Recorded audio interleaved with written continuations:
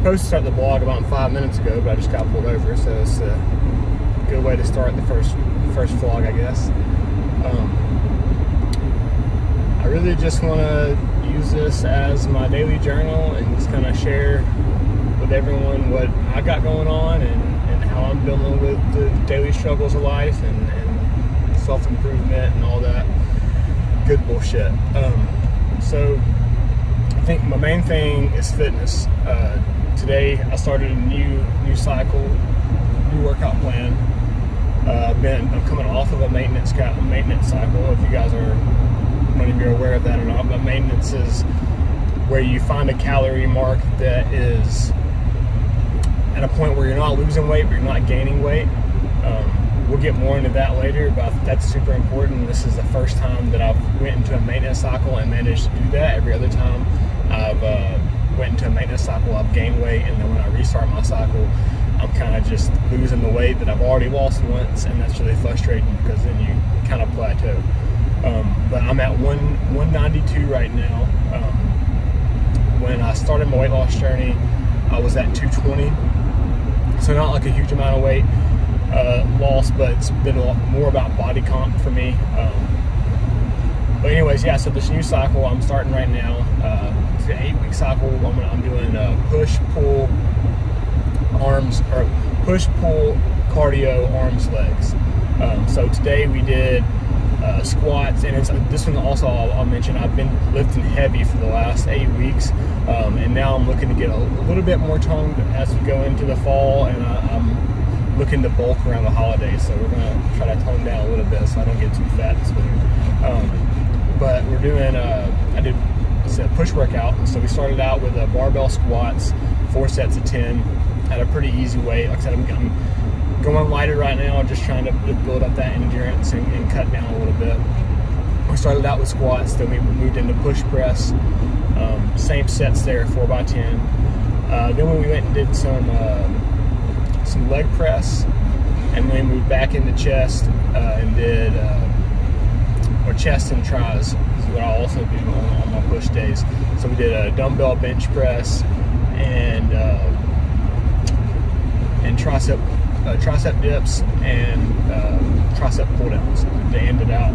Um, and then always got to hit abs, get rid of the pudge uh, or the squish, as uh, some people call it. Um, and with that, I did um, we did incline sit-ups. I found incline sit-ups to be the most effective ab workout. I mean, science proves that too. I mean, as far as ab workouts go, everything's pretty equal to be honest with you. Um, it's but it's really hard to beat incline sit-ups, at least for me. And I mean, crunches are great, regular sit-ups are great, but getting off the ground kind of helps my back and my neck. So those are always a go-to.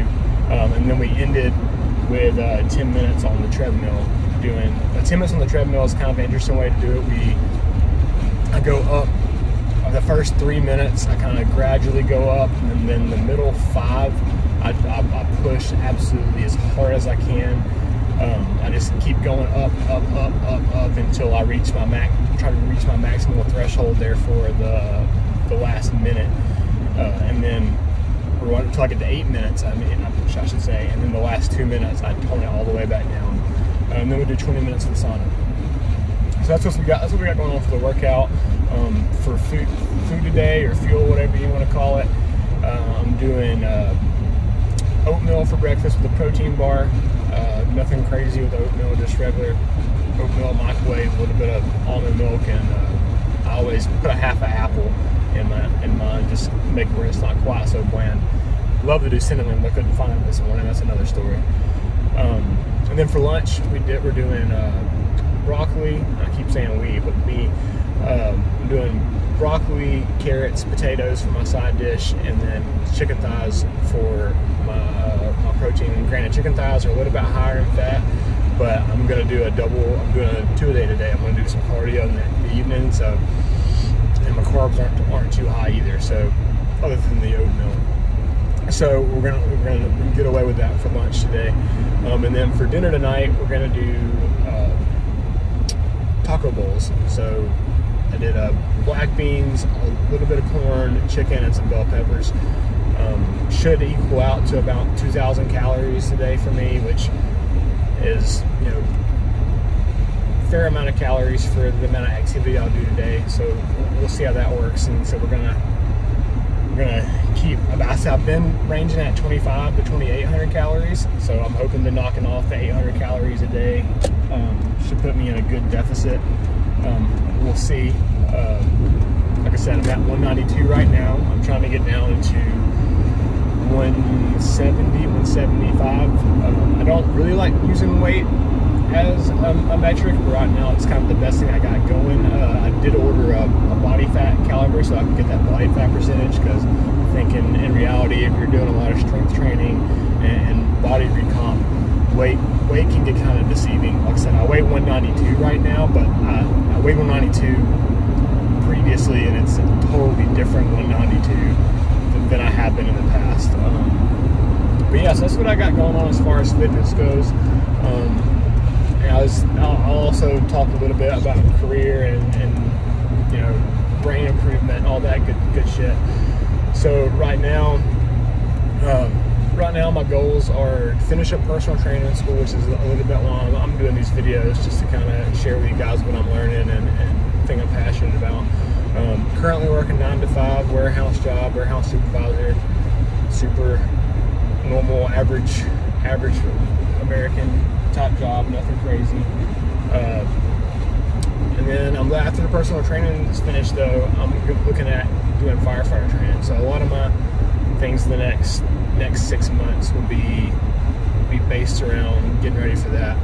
Um, as far as goals that I have right now, I'll share with you guys is you know my main three right now is like I said earlier, I want to get down to 175 I'm probably going to change that metric once I get my body fat caliper and do body fat percentage versus weight because weight is just like I said not the best best tool when it comes to the weight loss when it comes to you know, body recomp um, and then yeah then okay other than the fitness goals my other goals like I said finish a personal training code finish my personal trainer certificate uh, we try to get that done by end of September-ish. I'm kind of taking that a little bit slow because I'm, um, you know, in the past I've set these hefty goals and, and, you know, really about kill myself to reach them, and I do wind up reaching them, but I always find myself at this point of resentment.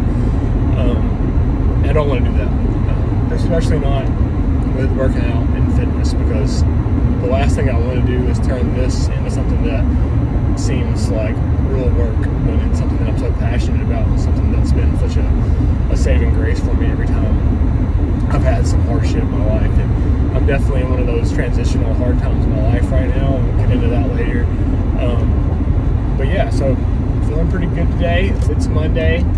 Finally talking to you guys. I've been saying I'm going to do this for the past six months. I'm just not doing it. Um, I guess to, to finish everything up, my other goal is to not smoke for six months. I've been a big pothead for the last decade. I'm uh, like 18 days now without smoking, which I mean, yeah, give me a cookie. It's a real hard thing to do, but for me, it is. It's a pretty big deal. Um, so not smoking for six months, get down to 175. Um, finish personal trainer, go uh, finish personal trainer, trainer school, um, and then move on to some new goals. That's where I'm at right now. Yeah, just trying trying to get it done. Just trying to find find some motivation. Trying not to get too overwhelmed. But I think the the quote I'll leave with you guys today is I know that you know a lot of times life gets gets pretty hard. And there's a lot. It feels like a lot is on your plate. You know the weight of the world sometimes feels like it's on our shoulder. Um, and I just want to remind you guys to whom much is given, much is required. I wish I could remember who said that. Probably somebody pretty smart, um, smarter than me at least. But yeah, just remember that one when it feels like you got a million and one things on your plate and you're juggling life and, and fitness goals and, and career goals and family goals and, and all that stuff too, man. Because I know it gets a lot and it's real easy to just be mundane. It's real easy to just do whatever it takes to get through but there's a lot more to life to that when, when you can really have the discipline to, to, to move forward and, and keep your feet moving and, and do something that's better for your life, whether that's health, uh, whether that's fitness, you know, whatever that may be. But I'm pulling into work now, so we will uh, let you go. I'm only about five, ten minutes, five, ten minutes late today because I got pulled over. Uh, granted, I was speeding, so nice cop though. He didn't give me a ticket, and my tabs are, are expired. So you know what? We'll take that as today's blessing and the reminder that I need to get my shit together. Um, but yeah, uh, thanks for for listening. Thanks for sharing. I hope that. Uh, with this, I can hold myself accountable and maybe help hold you guys accountable too to reach your goals. So, yeah, have a good day. Get the bread, baby.